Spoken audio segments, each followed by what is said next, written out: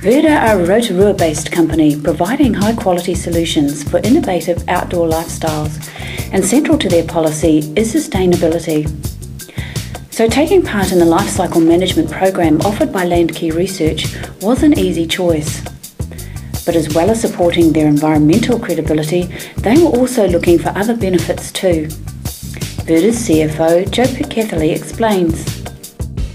Um, well, because I'm the CFO of the group, I was looking for some um, some gains financially. I mean, that's that was probably my my take on it. Um, as a as part of Verda, we, we feel responsible for the environment, so um, we also understood that, that that was a key part of it. And also, again, about our customers, that's some of the things that they're, that they're looking for now. They're wanting to make sure that we're a sustainable company.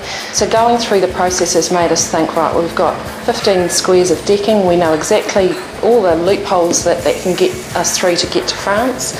So now um, I would say the main highlight for us is to be able to um, replicate that with new products. So it's much more improved in terms of the processes of getting it through from the design process right through to selling it to the customer.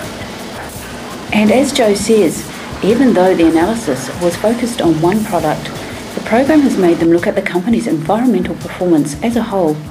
We have things like our FSC certification, uh, products grown from sustainable forest.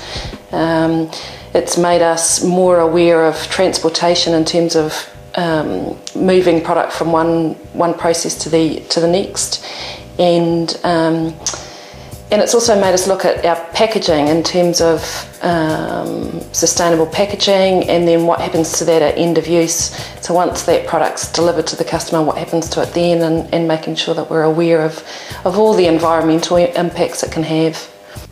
Verda's product development manager, John Gifford, explains why lifecycle management is becoming a must for the company. Through the supply chain, we see our customers uh, are very interested in, in the environmental performance of Verda. Increasingly, they're saying, you know, how do you package your products? What are the issues associated with your packaging? Can it be recycled? What happens to it at the point of use uh, by the customers?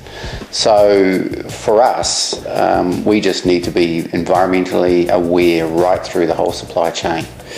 And Joe says the benefits of taking part in the program have been several fold. We've been able to minimise waste. We've had, um, which has had an upside in terms of um, waste management, in terms of um, the, the, cost of disposing of waste. We um, are using our shavings for um, renewable energy, so we're able to take that byproduct and turn it into energy for for the business. I think any business um, would get you know an enormous amount of um, value out of approaching the same project. And I think it's one of those things that you think it's going to take a bit of time and, you know, have I got time for this? But the value that you get out of the other end is certainly worth the time spent. Um, and I'd certainly encourage other people to take the same approach.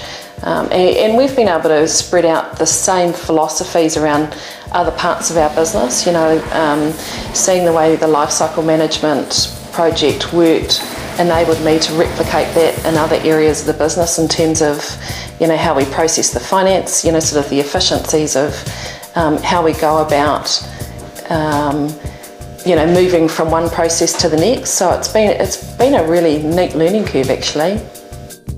Having exposed, been exposed to um, the tools and and the systems that can be used to position yourself better from an environmental perspective and then to start on that journey has, has been really valuable for us.